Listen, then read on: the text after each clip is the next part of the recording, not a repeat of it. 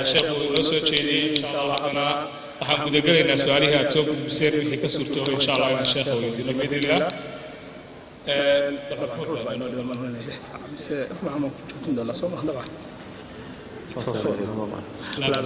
insha allah sheekh maxamed su-aasha koowaad gabadha soo qabta waxay leedahay asalaamu calaykum waraxmat ullahi wabarakaatuhu waxaan ahay gabadh tukata waxaana la yidhi sigaarku waa dembi ninkayguna wuxuu ka shaqeeyaa sigaar. Wuxuuna bilaabay mar dambe guurkeenna kadib dharka aan qabo yacni aan xidhnahay ma ku tukan karaa lacagta uu isiiyase ma sadaqaysan karaa ma ku soo xejin karaa maxaa iga soo gaaraya oo dembi ah iga jaahil bixi jazaaka allahu khayr بسم الله الرحمن الرحيم الحمد لله رب العالمين sigaarku waa xaaraam xaaraamnimadiisana shaki kuma jiro waana khabiid ka mida khabaa'ifta shareecadu ay xarimtay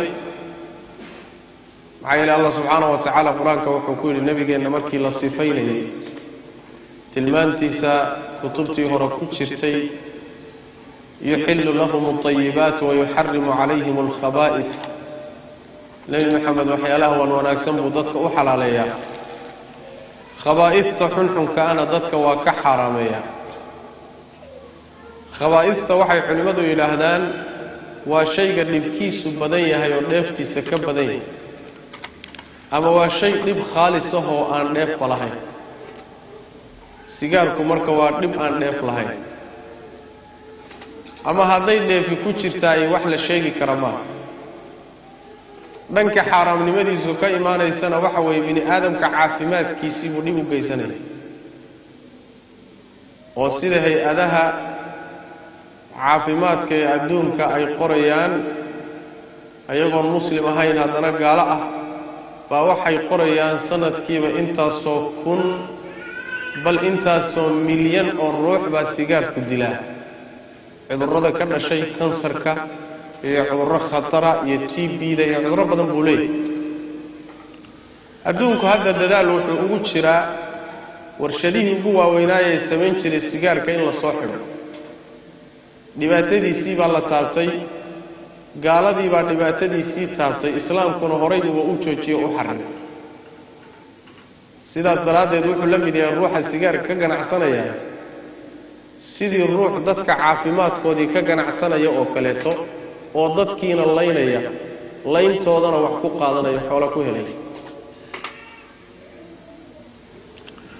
shay aada u cad wey marka xaaraamnimadiisu nebigeennana waxaa ka sugan sal alay wasalam inuu yidhi allah hadduu shay xarimo lacagtiisana wuu xarimaa in allaha idaa xarama shay-an xarama amana shaygu hadduu xaaraanba yahay lacagta ka soo baxdana waa xaaraam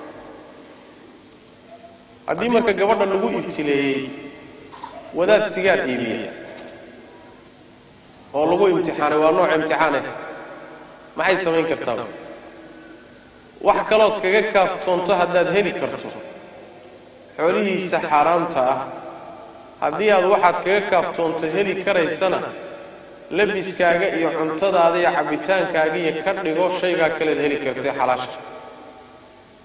Haddaadan heli karaynin gurigii dumi laguma dhahayo oo reerkii kale eri ku dhihi mayno laakiin waxaan ku leenahay wixii dantu kaa maaransiin weyn oo aradbaxa iyo cuntada iyo cabbitaanka iyo guriga gogosha intaa waxaan ka ahayn iska da intaana ka qaado daruuro ahaan bay adiga kuugu bannaanaanaysaa isagaana ilaahay kala xisaabtamaya subxaana wa tacaala. Culamada islaamku sidaasay leeyihiin. Fataawi fara badan oo masalada ay ka yidhaahdeen ama kas ku soo aroortay. Marka masaladu sidaas weeye. Waxaa kaloo iyadana lagaa rabaa maadaama wadaadka noocaasa ilaahay kugu imtixaanay subxaana wa tacaala inaad wasiyada waxaan dhihi lahaayey inaad yacni aad aada u nasiixayso. Addiinu nasiixa diintu waa naseexe inaad u naseexayso oo aadan kala daalin warniyow ilaahay ka baq warniyow shaygan iska daa. War ruux xaaraam cunay baryadiisa lama aqbalo. War jidh jidh bini aadan oo naar oo ku soo baxay cunto xaraana ama cabitaan xaaraam ah naar baa berri lagu goyn doonaayoo iska leh. Eniyo ilaahay ka baqnay.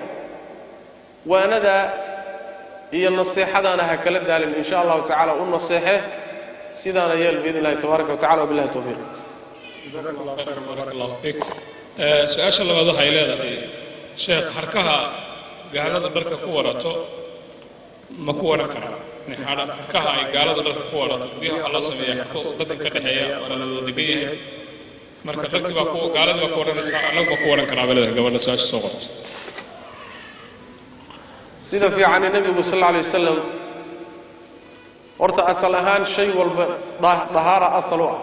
Shay walba fi lasli alaslu fi lashyaa ahaara la yidhahda jidka la maraya iyo derbiyada iyo wixii meel loogu yimaado iyo wixii in shay xaaraama lagu arka ama shay nijaasa lagu arka mooyaane asal waxyaalaha jiraayay inay daahir yihiin baa asal u shaygii markaa uu nijaaso lagu arkaa la odhanayaa waa nijaaso wixii markaa nijaaso cad aan lagu haynin waa iska daahir taasi waa middaa masalada labaad.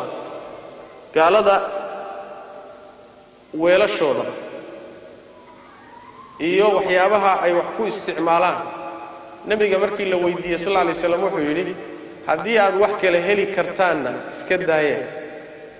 Haddii aad weydaanna iska dhaqa. Maadaama ay suuroobi karayso inay dhar nijaaso ah ku wadheen waxaa fiican markaad dharka ku wadhaysaan inaad intaad biyo qaadaan gacanta oo qoyan aad marisaan ama muxuu ahaayey istiraasho oo kale intaad qaataan qoyan inaad marisaan. Taasi marka ay u noqoto inkees dhaqmo ay u noqoto. Laakiin haddii xataa layska saaro shaygii mar haddaan mar wax nijaaso cada aan lagu haynin waxa weeyaan lama dhihi karayo nijaaso weye lama dhihi karayo. Laakiin sida ixtiyaadka iyo dadaalku ku jiro inaad yani waxa weye sidaa hore yeeshaan baa fiican wabillahi tawfiiq. Jazaak allahu khayran wabaarak allahu fiik. Saa'ilka wuxuu leeyahay su'aasha soo qoray ama saa'iladana cafwan qof dumar ah ayaa rabtaa inay aado xajka mana awoodo qofkii maxramka u noqon lahaa inay ka bixiso qarashka. Marka waxay doonaysaa inay xamar sii marto soomaaliya aado halkaana ay ka kaxaysato qofkii maxramka uga noqon lahaa. Safarka halkan ilaa xamar ay ku aadayso muxuu noqonayaa waxay shareecadu ka qabtaa. Jazaak allah khayr nebigu wuxuu uhi sal alla alay wasalam haweenaydii ilaahay iyo maalinta aakhara rumaysan yayna safrin maxram la'aan sidaas daraaddeed halkan wax ka kaxeeya haddayna haysanin oo maxram ah wax xaj oo ku waajibaya ma jiro. Maxram meesha ay ka safrayso ka raaca haddaynan haynin intay ka helayso xajku kuma waajibayo sidaa waa sida uu ku tegay alimaamu axmed caleyh raxmat ullah iyo a'imo kale. Waxaana loo deliishanayaa xadiid saxiix oo nebigu uhi sal lla alay wasalam oo uu leeyahay haweenaydu yaynan xajinin maxram la'aan nasan xadiidka waa xadiis sugan waxaa kaloo sugan nebiga salawaatu rabbi wasalaamu calayh nin saxaabadiisa ka mid a oo duulaan inuu raaco lagu talagalay ciidamo baxaya oo duulaan u baxaya ayaa nebiga u yimi sal alay slam markaasuu wuxu uhi rasuulka ilaahay waxaan ku qornahay ciidanka meel heble ku duuli doona inaan raaco. Xaaskaygiina way baxday iyadoo xaj u socoto maxaan sameeyaa? Nebigu wuxuu uhi sal alay wasalam duulaanka ka soo hadh kana soo noqo xaaskaaga raaco soo xajisii buu nebigu ku yuhi salawatu rabbi waslamu caleyh culimmada qaarkood sida imaamu shaafici caleyh raxmat ullah iyo culimo kale waxay leeyihiin rubqo saalixa la raacinayaayo dad wanaagsan oo wada socda haddii loo helo way raaci kartaayo way la soo xajin kartaa. Laakiin ra'yi xoog badan ma aha. Ra'yi xoog badan ma aha kan kalea ka xoog badan. Maxaa yeele hadduuba xadiid odhanaya jira nasan nebigu yuhi sal alay wasalam haweenaydu yaynan xajinin maxram la'aan hadduu jiro. Xadiidkaasi nas buu masalada ku yahay waana ku cad yahay wabittaali haweenaydu way iska joogaysaa intay maxram meeshan ka raaca ka helayso. Haddayse iska tagto oy sidaa ku soo xajido haddii intay tagto ay saa ku soo xajido xajkeedu waa asaxayaa laakiin safarka ay gashay maxram la'aanta waa gooniyo ilahay baa kala xisaabtamay safarka ay gashay ee maxram la'aanta ah waa masalo goonideeda ilaahay baana kala xisaabtami doona ama ha u ciqaabo ama ha u dhaafo laakiin xajkii ay gudatay si ahaantiisa haddayna wax kale ka khaldanayn wuu asaxaya. Laba masalo kala duwan wey macana wabillahi tawfiiq. Jazaak allahu khayran wabaarak allahu fiik. Waxay leedahay saa'idinta kale oo soo qortay su'aashan qof dumara ayaa lacag igu lahayd. Kadibna way dhimatay.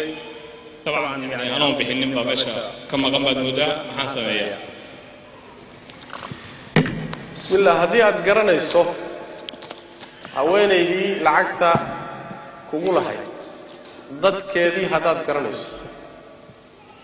Waa inaad iyaga siiso dayntay kugu lahayd maxaa yeelay iyagaa dhaxlaya. Dadkii dhaxalkeeda lahaa baa iskale xoolaha. Iyagaad ku wareejinaysaa waxaad leedahay waa daynay heble igu lahayd. Sidaas daraaddeed iyagaa u tashanaya iyagaana dhaxlaya. Haddii aadan garanaynin haweenaydii dadkeedii si kasta haddaad u raadisana aadan heli karin waajib waxaa kugu ah markaa inaad u sadaqayso waxay kugu lahayd. Masaakiin masaajid la dhisayo meel baad u gelinaysa. Sadaqaad ugu bixinaysaa adiga sadaqa kuma aha iyadii bay sadaqa u tahay insha allah wabillahi tawfiiq. Jazaaka allahu khayran wabaarak allah fiik su'aasha xigta waxay leedahay sheekhow ninkaygu salaada ma iga jebiya bismi illaahi araxmaan araxiim mas'alada ah dumarka iyo ragga taabashada waysada ma ku kala jebiyaan? Waa masalo khilaafiya. Khilaafiye markaan leeyahay macnaa culimmadii baa isku khilaafsan. Ilaa waqtigii saxaabada ilaa maanta la isku khilaafsan. Yahay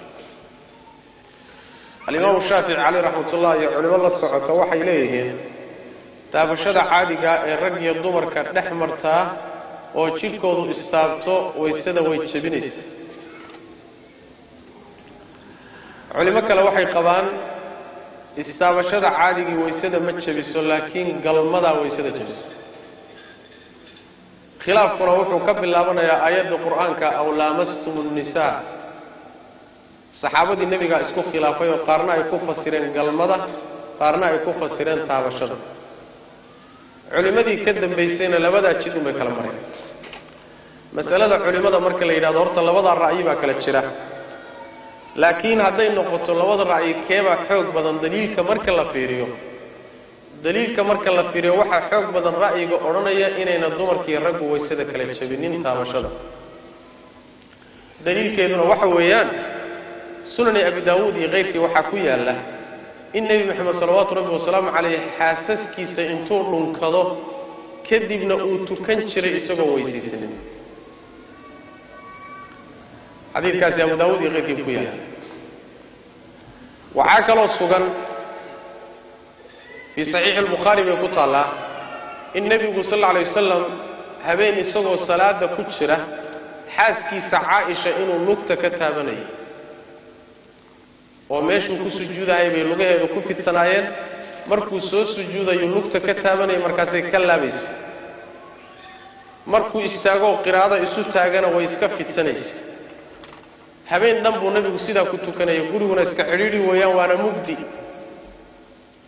Salaad buu nebi maxamed ku jira xaaskiisa lugteedana uu taabanaya wadaadada qaar baa waxay yidhaahdeen waxaa dhici karta lugtu inay mara saarnayd. Wax daliila looma hayo lugta caaisha inay mara saarnayd markaas. Waxaase intaasoo dhanba ka sii cad oo ku tusaya nebi maxamed salawaatu rabbi wasalaamu caleyh wayse qab buu ku seexan jiray ummaddana wuxuu amray markaad seexanaysaan wayse qab ku seexan. Xaasaskiisuu la seexan jiray. Hal gogol buu la seexan jiray. Hal marana waa la huwan jiray. Waana wayse qabaa nebigu salawatu rabbi waslamu caleyh ma dhici kartaa ninku intuu xaaskiisa hal gogol la seexdo hal marana la huwado haddana inuu wayse qabo lana yidhaahdo way kaa jabinaysa. Ma dhici karta maba dhici karta haweenay nin leh ama nin xaaskiisii la jooga intay habeenkii wada seexdaan haddana waysada ay kala jebinayaan haddana inay weyse qab ku seexdaan maba dhici kartaba leanna marka ugu horraysa gogosha la isugu yimaadaba laystaabay weysadiina jabto. Marka waa waa mashaqa. Nebi maxamed salawaatu rabbi wasalaamu caleyh marka isagoo xaasaskiisa la seexanaya buu haddana weyse qab ku seexan jiray salawatu rabbi wasalaamu caleyh taasi marka waxay kutusaysaa in ayna dumarka iyo raggu taabashada jidhka aynan weysada jebinin. Laakiin waxaa weysada jebiya galmada. Masaladu marka adiladaa marka la fiiriyo waxay u xoog badan tahay taabashadu inaysan weysada jebin. Macnaheedu maaha marka yaan loo fahmay ama wadaaddo waxaa jira hadalka qalloociya oo laga yaabo inay u qalloociyaan. Inay yidhaahdaan rag iyo dumarku haystaa taabteen baa la yidhi ma aha saas ma aha nin iyo haweenay ajnebi kale ah inay istaabtaan oo jidhkoodu istaabto waa khalad waana soo sheegay kama hadlayno marka ma dembibaa dembi way tahay hadday isu qastaan taabasho ajnebina kale yihiin dembi inay tashay kuma jiro. Laakiin waxaan ka hadlaynaa waysadii ma jabtay way waxaan ka hadlaynaa. Waysadii ma jabtay oo ma kala jabiyaan mise waysadii ma jabin. Taa way midaan ka hadlayna macnaha. Masaladu marka dhankaasay u xoog badan tahay waase masale khilaafiya oo culimmadu qadiiman wa xadiidan ay isku khilaafsan yihiin wabillahi tawfiiq. Waxay leedahay gabadhan kale su'aasha soo qortay. Wiilaan dhalay ayaa jijin qaata jijin suuye gacanta laga xidho suuye ay yidhaahdaan qaarkood jijin diinta maxay ka qabtaa?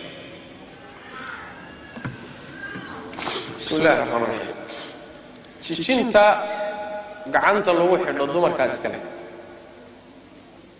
raggu ma xidhaan wixii dumarku xidhan jireen hadduu ninku xidhana waa malcuun wuu lacnadan yahay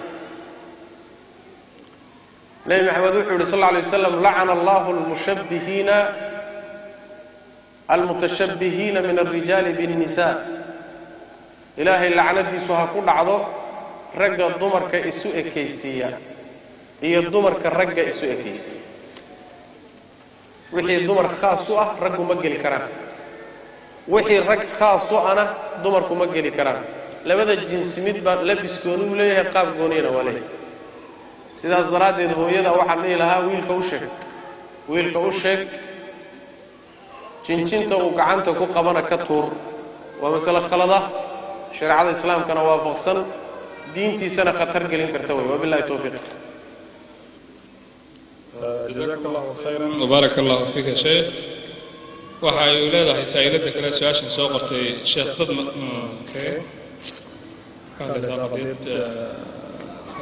dad madax oo wadankii keenay muxuu ahaaye sama. Sheekh waxaan rabaa ayay leedahay gabadhan inaad su'aashan iga joogto cafwan leedahay ha ninkaygu wuxuu ka shaqeeyaa tan horaa looga jawaabay waa tii sigaar ku saabsanayd sheekhu ka jawaabay cafwan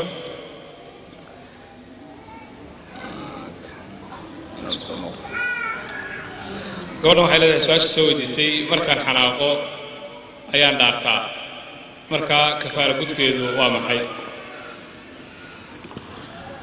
bismi illahi raxmaan raxiim allah subxaana wa tacala qur'aanka wuxuu ku leehay laa yu'aakidukum allahu billaqwi fii aymaanikum walakin yu'aakidukum bima kasabat qulubukum aw bima caqadtum alaymaan labadu waa jiraan dhaarta wixii afku uun kaa bartay oo wallaahi inay saas tahay iyo wallahi inayna saa ahayn oo afku kaa bartay taa laysuma haysto laakiin midda laysu haysto waa midda dhaar ahaan ugu qasaday haddii dhaartaa aada u qasaday ee qalbiga aad ku gunuday aada fulin weydo markaa kafaaraa kugu laasimaysa kafaaradana qur'aankaa sheegay fakafaaratu itcaamu casharati masaakiin min awsati maa tutcimuuna ahlikum waxaad idinku quudataan kiisa dhexdhexaadka ah ayaa waxaad siinaysaan toban miskiin baad quudinaysaan. Toban miskiin ayaad mid walba hal mar dharjinaysaa. Cuntada aad siinaysana waa cuntada dhexdhexaadka waxyaabahaad cuntaan. Ta aada qaaliga waa maaha ta aada raqiiska waana maaha toban miskiin haddaad quudintooda aadan kari karaynin ama labiskoodii inaad dar u iibisa aadan kari karaynin faman lam yajid fa siyaamu alaaati ayaam saddex beri baad soomaysa saddex beri ayaad soomaysaa dalika kafaaratu aymaanikum idaa xalaftu markaad dhaarataan dhaartiinna kafaaradeedu waa taas toban miskiin inaad quudiso haddaad heli karto haddaad weydana saddex beri baad soomaysaa wabilahi towfiiq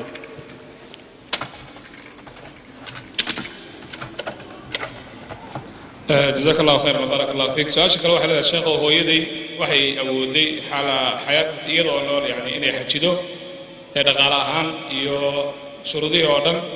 Kadib haddii ay dhimato iyada oo aan xajin awoodayna inay xajido dhimashadeeda kadib ma ka xajin karaa waa in laga xajiyaa hadday xoolihii ka tagtayna xoolaha lamaba dhaxlayo ilaa xajkeeda laga bixiyo. Sidaasi aymo fara badan baa qaba maxaa yeele waa xaq ilaahay ku leeyahay subxaana wa tacaala. Xaqii alla ku lahaana waa in la gudo oo laga gudo xoolihii ay ka tagtay laga gudo. Wey wabilahi towfiiq Eh, waxay leedahay su'aashan kale sheekhow. Dhiigga cadada wuxuu iga go-a bay leedahay muddo afar beri ah. Afar beri kadib ee markuu iga go-a iga dhammaado maalin iyo laba maalmood kadib maalin iyo barh kadib ayaa uu igu soo noqdaa waan arkaa dhiig kale maxaan samaynaya bismi illahi raxmaan raxiim dhigga cadadu haaliban markuu go-o calaamad baa jirta ka dambaysa gu'itaankiisa waa alqusatu albaydaa ay axaadiistu ku sheegeen. Yacni waa dhacaan cad. Idinkaa kolley garanaya astaantaasi ka dambaysa haddii aad aragtay oo ku tusaysa inuu dhammaaday wixii markaa kadib ka dambeeya waxba ma ah waxyaalaha yararkee ka dambeeya maxba laga soo qaadi maayo intaadan calaamadii arkin haddii intuu go-o haddana maalin kadib aada aragto isagiioo soo noqday macnaheedu waxa weeye waktigaa u dhaxeeya wakti aada caado qabtay buu ahaa oo caadadii macnaha kaama go-ina weli way socotay. Adaa ismoodsiinay kaa go-o saas daraaddeed maalinkaa dambe waxa kugu soo noqdayna waa un caadadii waad sugaysaa markay kaa go-do calaamadii inay go-day ku tusaysayna aada aragto markaasaad qabaysanaysaa wabilahi fiik. Su'aasha kale waxay leedahay sheekhow anigoo qubays la igu leeyahay haddii aan safar galo salaadii ma tukanayaa mase maxaan samaynaya adoo qubays lagu leeyahay haddaad safarto salaada markaad tukanayso waa inaad qabaysato haddaad qabays weydo waa inaad gebagabaysato waa inaad tayamumtood boodhaysato leanna ruuxa janaabada qaba laba mid buu ku tukan karaa inuu qabaystana waa kuxii uu tukan karaa hadduu qabays waayana siduu rabbi qur'aanka ku sheegay subxaana wa tacaala fain lam tajiduu maa'an fatayamamuu markaa wuu gebagabaysanayaa wuu boodhaysan boodhaysigaasaad markaa ku tukanaysaa. Leanna boodhaysigu qabays waajiba oo biyo la waayeyna beddelkiisa wuu galaa. Waysad waajiba oo la waaye biyo la waayeyna beddelkiisa wuu galaa. Marka waad u qabays waad u gebagabaysan haddaad biyo weydo waadna cibaadaysan intaad biyo ka helayso ood qabays ka helayso markaad qabays hesho ayaad markaa qabaysan doontaa wabilahi towfiiq jazaaka allahu khayran wbaaraka allahu fiik su'aasha kale waxay leedahay eh, filimkan laga soo la yidhaah lagu matelo asxaabihii oo risaala iyo waxa ay yidhaahdaan ma la daawan karaa muxuuse noqonayaa ma xaaraan baa xalaal filimada la matalayo wixii asxaabu rasuuli llahi sal alla alay wasalam matalaadda lagu samaynayo khaladaad aada u fara badan baa ku jira. Cajaladahan la leeyahay saxaabadii weeye ama duulaamadoodii ama dagaaladoodii lagu matalayo waxaa samaynayaay dad xunxun bay u badan yihiin. Marka labaad saxaabadii suuro xun bay ka bixinayaan. Waxaad arkaysaa maalan dumar qaaqaawan oo lagu leeyahay waa saxaabadii yacni waxa way saxaabada dumarkoodu ma qaawanaan jiro waxaan dad ganacsataa baa sameeyey kambaniye ganacsi ganacsi baa sameeyey inay gaala yihiin baa xataa dhici karta kambaniyada sameeyey. Ganacsi baa loola jeeda dumarka qaarkood waxayba u qaateenba taqriiban waagii saxaabada in la duubay oo ay dhab tahay masaladu. Marka waxaan waa iska waa iska macnaha wax weeyaan waa iska masraxiyaad waa amaa daawashadooda haddii aynan wax xaaraama ka muuqanin oo wax khalada aysan ka muuqanin khaasatan carruurta beddelkay daawan lahaayeen filimo iyo waxyaalo kaleeto oo khariban ay daawan lahaayeen in la tuso oo saxaabada iyo qaabkay u jihaadi jireen iyo dadaalkoodii iyo la tarbiye ahaan looga dhigo oo iyagoo shar ka weyn lagaga lagaga macnaha wax weeyaan lagaga maarta celinayo dhib ma leh. Laakiin xaqiiqan ayaan loo qaadanin waxyaalo fara badan oo khaladaad oo ku jiro saxaabadii yani lagu samaynayo tashwiih iyo suura xumayn lagu samaynayana waa in la ogaada inay meesha ku jirto. Haddii layska dayn karaan in laga kaaftoomaa fiican. Oo faraha laga qaado wax badan oo lagu daaha ayaa badan wabilahi towfiiq jazaak allahu khayr wbaarak allahu fiik. Su'aasha kale waxay leedahay waxaan ahay qof ganacsato ah. Sekada waxaan bixin jiray bisha shanaad sanad walba sanadkan waxaa laygu leeyahay dayn aad u badan. Sekadii ma igu waajibaa. Bismi illahi raxmaan raxiim sekada marka la bixinayo sekada marka la bixinayo waxaa loo bixiyaa. Adiga waxaad haysatiyo dayntaa la kala gooyaa laguu leeyahy haddaad ganacsato tahay oo matalan dukaan kuu furan waxaa loo bixiyaa alaabta kuu taallaa la qiimeeyaa qiimaha ka soo baxay kaba soo qaad toban kun buu noqday. Waxaad ku daraysaa kaashka kuu yaalla shan kun buu noqday kaba soo qaad. Shan iyo toban kun oo badeecadii kuu taallay iyo kaashkii kuu yaallay markaad isku darto waa waxaad ka tarays waxaad ku daraysaa haddana daynta aad dadka ku leedahay ee kuu maqan oo aad rajaynayso inay kuu soo noqonayso oodan ka quusan intaad ka quusatay ku dari maysa saddexdaa markaad isku darta kaba soo qaad iyaduna shan kun wey daynta kuu maqan. Labaatan kun baa meeshaa ka soo baxay. Kaash kuu yaalla badeeco kuu taalla dayn kuu maqan. Intaa markaad isku darto waxaad ka jaraysaa daynta lagugu leeyahay adiga. Daynta lagugu leeyahay markaad ka jarto wixii soo baxaad ka sakaynaysaa kaba soo qaad hadday intoodaasi labaatan kun isku noqoto.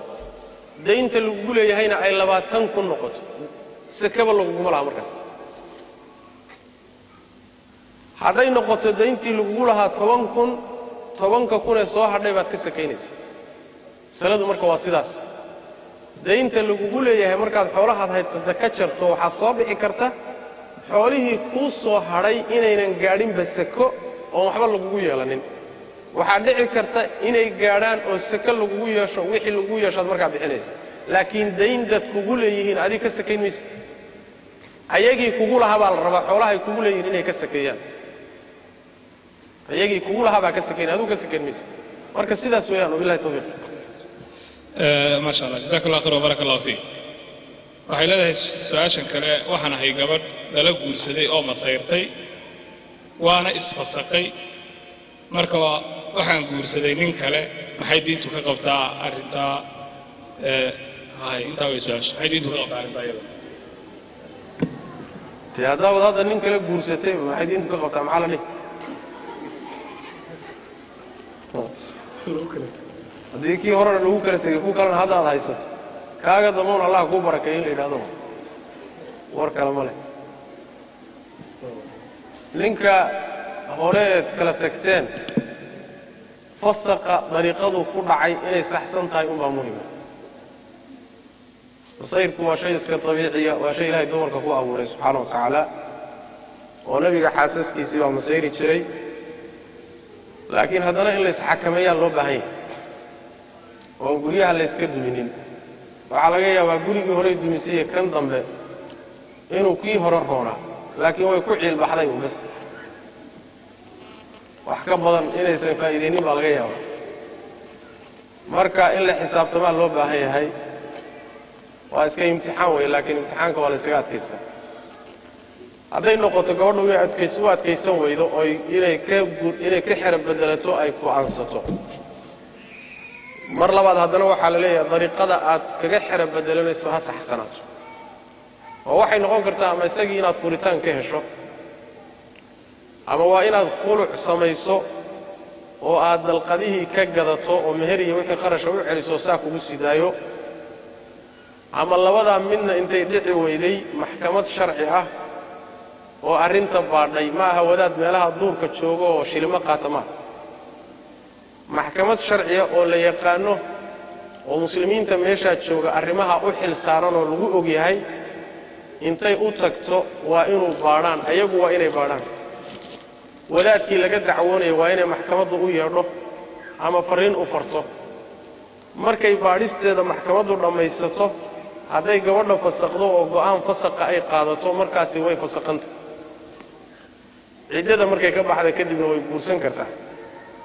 Laakiin haddayna maxkamaddu sharci ahayn oo jiho la yaqaano oo lagu kalsoon yahay aynan ahayn ama gabadhu intay u tagtay been ay u sheegtay oo waxaan jirin ay ka dhaadhicisay sidaana waraaqda fasaqa lagaga soo qaatay. Ama maxkamaddu iyadoon baadhis samaynin oo arrinta aan ka baaraan degin ay go'aanka iska qaadatay intaasoo goorba waraaqda fasaqii ma saxsano markaa. Sidaa daraaddeed fasaqu shareeca sharci ahaan waa la ogol yahay laakiin dariiqa waa inay saxdo oo gabadhu saxdo.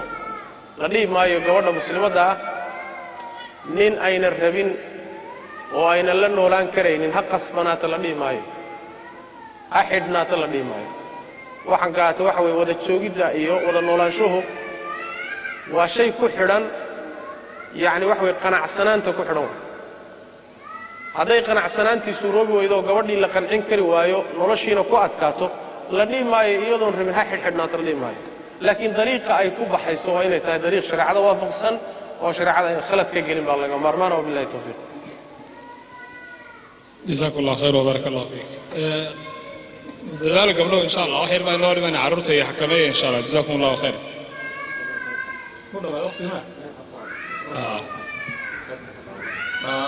insha allah waxaan isku dayaynaa inaan qoladan qaltooga ka soo xidhiidhay su'aalahooda soo hormarina insha allah waxay leedahay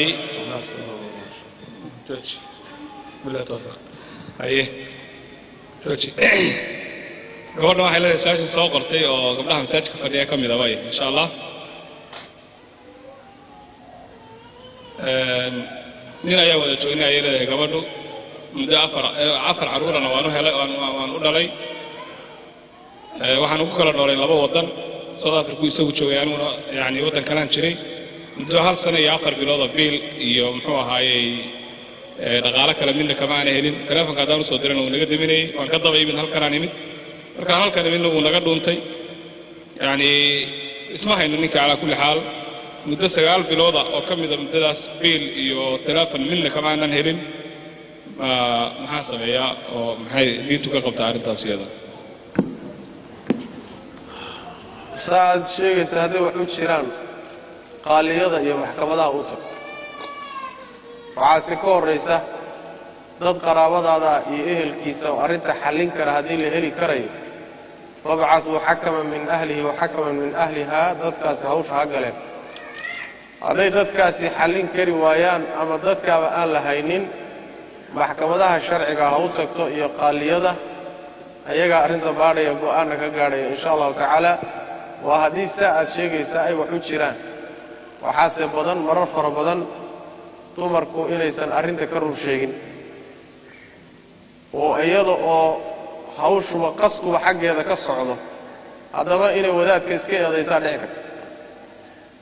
Soomaalidu waxay yidhaahdaan nin dhiig ka daadanaya haddaad aragto. Warkiisa ha rumaysanin ilaa aad fiiriso muxuu ka yimid? Mid calooshu ka soo jeedaa laga yaabaa inuu ka yimid oo dhiigu ka daadanayo marka warku siduu yahay looma rumaysan karayo ilaa baadhis rasmiya lagu sameeyo baadhista jihada samayn kartana waa jihada qaalliga wey masaa'ishuna waa kala duwan yihiinoo masaa'ilulkhusuumaad masaa'il laysku haysto oo xuquuq dad u dhaxeeya ah iyo masaa'ilun fatwo u baahan bay kala yihiin.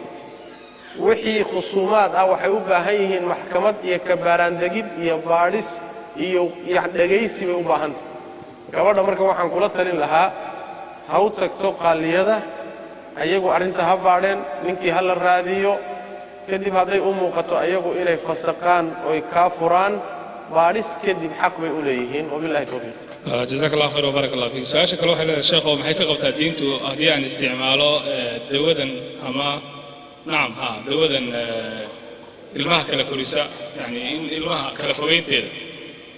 Su'aasha labada raacaysa waxay leedahay diintu maxay ka qabtaa iyadana dawadan ay dumarka qaarkood isticmaalaan ee la isku caddeeyo masalada hore carruurta kala fogayntoodu ma bannaana sida joojintooduba ayna u bannaanayn bayna kal- kala- fogayntooda u bannaanayn. Nabigeenuna sal alla alay wasalam sida xadiidkiisa abu daawuudka ku sugan guriga iyo reerkaba ujeeddada dhan ee laga leeyahay ugu weyni waa ilmaha. Ilmaha dhala buu nebigu sal alla alay slam ummaddana badiya. Ummadda nebiga hala badiya salawatu rabbi wasalaamu caleyh haddaad isku yarayso waxaa laga yaabaa in gaalada hadda waayahan dhaqanka waddo oo labiyo saddex baa la dhalaa kadibna waa la iska xidhaa baa lagu leeyahay. Oo haddaad laba dhasho ood isxidho oo labadiiba dhintaan soo ilmalahaan ku soo bixi mayso haddaad saddex dhasho ood iska kala yarayso saddexdii mooryaan noqdaan wax kuu kala hadhaa la rabaa mogta wax kuu kala hadhaan oo bal ugu yaraan waxna kuu hagaagaan wax kaa dhintaan wax kuu badbaadaan. Maqaadiirtan adiga garan maysa meelay ku habsan doonto. Sidaas daraaddeed adigana dani waxay kugu jirtaa ilmuhu inay kuu badan yihiin. Ummaddana waxaa dani ugu jirtaa inaad ummadda nebiga badiso salawaatu rabbi wasalaamu caleyh carruurta marka ha yaraynine badiya taasi waa middaa mida labaad. Hal mar baa la ogol yahay bay dhahan culimmadu in carruurta la kala durkiyo waa marka ama gabadha caafimaadkeeda dhibaata gaadhayso oo ilmahan faraha badan ay iska daba dhalayso la xaqiijiyo inay caafimaadkeedii dhibaata ku imaanayso. Gabadha caafimaadkeeda si loo badbaadiyo markaa waa la samayn karaa. Mar kale waa marka ilmaha korintooda intay hooyadu ku keliyaysato dhibaatooyin fara badan ay ka soo gaadhayaan ayadana si bal korintooda ay ugu kala nasato inta badan meelaha qurbaha ah bay taasi dhacdaa. Marka waddankii la joogo dadkii la dhex joogo qaraabaa badan dad baa badan gurigii waa la joogaa ilmihii waa lala korin karaa. Laakiin markay yacni waxa weeye afar isku nuug shan isku nuug intay dhasho kelina ay ku noqoto. Waxaa laga yaabaa korintoodii inay dhibaato badan ka soo gaadho.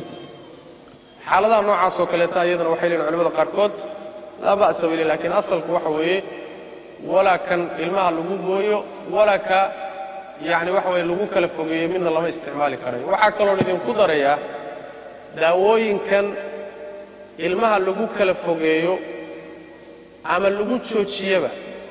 Intooda badan waxyaalo kiimika ah wey bini aadamka caafimaadkiisana dhibaan yareen bay u geystaan khaasatan kiniiniyadan ay dumarku isticmaalaan oo carruurta lagu kala fogeeyo waxay keenaan cudurraday keenaan waxaa ka mida wadnaha dhibaatay u geystaan. Waxaa kaloo dhibaato u geystaan dumarka caadada ka timaadana way wereeriyaan in badan baan aragnay dumar laga yaabo inay bishiiba wiig caadada heli jirto oo bishii afar goor caadadii ku dhacayso. Dumarka qaarkood waxay ku rideen waxa la yidhaahdo dhiig furan ama dhabar furan baa ku dhacay. Dhiigaan istaagayninba intaasoo mushkilay leeyihiin marka waxyaabahan daawooyinka la leeyahy daawo maaha waa sunwa. In laga fogaa marka fiican intii laga fogaan karo dana inay idinku qabato lagaba maarmi waayo mooye. Intaad ka warwareegi kartaan ka warwareegi. Dhibaatadoodaa badan shareecada islaamkuna waa xarimtay in uun xaalad daruura timaado mooyaane. Wabilahi tawfiiq. Daawada la isku caddeeyo iyadu ma bannaana daawada la isku caddeeyo ma bannaana oo maxaad isku caddaynaysaan ilahi baa idin madoobeeyey bise midabka madow baad u haysataan inuu yahay midab liita midabka madow nebi aadamoo laga tarmay calayhi salaatu wasalaam sida nebiga xadiidkiisa ku sugan carro saddex midable baa laga abuuray qayb ka mida way madoobayd afrikaanka iyo dadka madmadow baa ka soo jeeda qayb ka midana way casayd dadka cascas baa ka soo jeeda qayb ka midana way guduudnayd dadka gudguduudan baa ka soo jeeda idinka aadan idinma dhalin miya midabkan aadan ma lahayn miya. Mushkiladu waxa weeye haddaabad isku kalsoonaan weydo adigiiba aad midabkaagii yasto waa nooc cudura wey oo qalbiga gala wey qasulfikri wey ilaahay subxaana wa tacaala hadduu midab cas ku siiyeyna alxamdu lilah hadduu midabkaaga madow ka dhigayna alxamdu lilah ceeb iyo ma aha macna wax weeyaan xumaan maaha. Ama inaad la dagaalanto waa min baabi takyiiri khalqi illahi tabaaraka wa tacala ilaahay abuurkiisiyood bedelaysa wa shaydaanka amarkiisiyood fulinaysa wey maxaa yeele shaydaan baa wuxuu yidhi wala aamurannahum falayugayirunna khalqa allah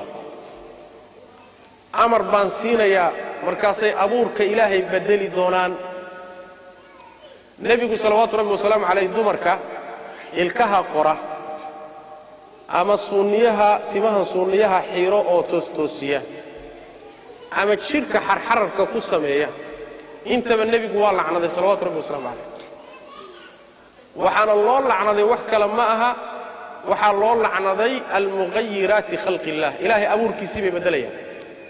Ilaahay abuurkiisii bay beddelayaan. Marka abuurka ilaahay ha beddelay sidiisa u dah waxaa kaloo intaa ka daran baasha laysku caddeeyo waa sun. Idinkaana iga yaqaana dumarkii marsan jiray waxaa dhacday cabbaar markay marsanayeen jidhkoodii inuu la qabsaday. Kulayl uma dulqaadan karo. Muxuu ahaayey dabeecad hawo uma qaadan karayo. Jidhkii hadduu waayo wuxuu noqonayaa googo buu noqonayaa isaga dhanba ay ku taa dhiig ku taagan yahay buu noqonayaa. Foolxumo waay meeshaad qurux raadinaysaan haddaad foolxumoba ku dhacdeen soo dhib maa mid labaad weeyaane dad baa lagu sirayaa iscaddayntan la iscaddaynayaayo waa khayaano. Waa khayaano. Yaad siraysa adiga. Markaad intaad iscasayso ood macnaha waxa weeye aad wax beenbeena samaysato laga yaabo ama inaad guur ku doonayso ama mid wadaada aad ku khaldayso. Meeshii markaad isu timaadaan oo dhowr bedi beri aad wada joogtaan midabkaagii asalkaabaa soo baxay shaki miyaa kaaga jira inuu ninkaas aad miyaad sii wada joogi doontaan laa balaayo alla kugu ridi waxbaad ii qarisay kac tag buu ku leehay marka waxaanoo dhan waxa weeye taswiir iyo kadib iyo been baa ka buuxa intaasoo khalad baa ku jira caafimaadkii u daran diintii u daran wax walba u daran. Iska daaye midabkaa ilahay idin siiyey subxana wa tacala baad ku quruxsan tihiin midabkaa alla idin siiyey ku kaaftooma biidn illahi tabaaraka wa tacala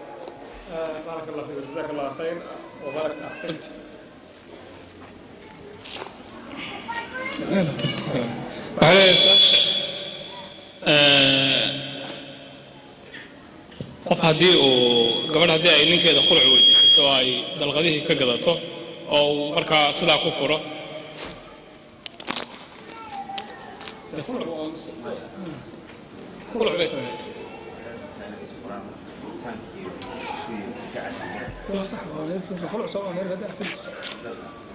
khuluc bay samaysay khuluc bay samaysay almuhim khuluc markay samaysay kadib wuu furay oo yani heshiiskaasay galeen inta ku jirtay ciddadii masoo ceshan ah iyadoo heshiiskaasi dhaco saa lagu kala tegay bismi illahi raxmaan raxiim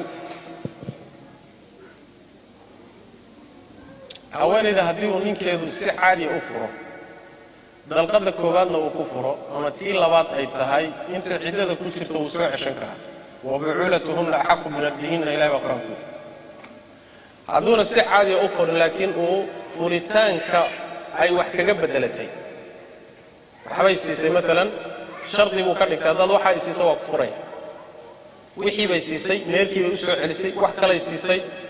Sidii buu ku furay hadduu sidaa ku furo furitaanka uu wax kaga qaatay xaq uu ku soo ceshado ma laha. Xaq uu ku soo ceshado ma uu lahaa. Waa inay iyadu raalli noqoto oy oggolaato isguursiga iyo soo ceshiga dambe limaada lianna laba laysugu dari maayo haweenayda in xoolaheediina tagaan. Haddana la soo ceshado. Soo dulmi maa waa dulmi. Markuu ka qaato xoolo ka qaato oo uu ku furo haddii haddana la yidhahda jaanis baad u haysataa aad ku soo ceshan karto. Gabadhii wuu soo ceshan xoolaheediina qaaday. Wayna ku xidhan tahay weli taa marka shareecadu ma ogola. Marba haddaad shaygan gadatay xaq dambood ku soo ceshan karta ma jirto gabadhu waa fasaxan tahay inay iyaduba raalli noqoto mooyaane ma soo ceshan karto waxay ka gedisan tahay markuu caadi u furo. Caadi markuu u furo xataa iyadoon raalli ahayn buu soo ceshan karaa. Intay ciddada ku jirto. Laakiin hadduu xoolo ku furo ma soo ceshan karo inay iyadu raalli tahay mooye wabillahi tawfiiq. Jazaak allahu khayr wabaarak allah fi sheekhana sheekh maxamed. In sha allahu tacaala inooma hadhin ilaa inaynu ilaahay subxaanahu wa tacaala u mahad celinno kulankan inoo suurtogeliyey ee inoo dhammaystiray. Sheekheenna ilaahay subxaanahu wa tacaala miisaanka xasanaadka ha ugu daro camalkan jaziilka ah ee uu inoo soo gudbiyey. Ilaahay subxaanahu wa tacaala waxaan weydiisanaynaa inuu dhammaanteen inoo dembi dhaafo miisaanka xasanaadka ilahi subxana wa tacala inoogu darax walax kale. Marka insha allahu tacala intaas ayay ku dhammaatay muxaadaradii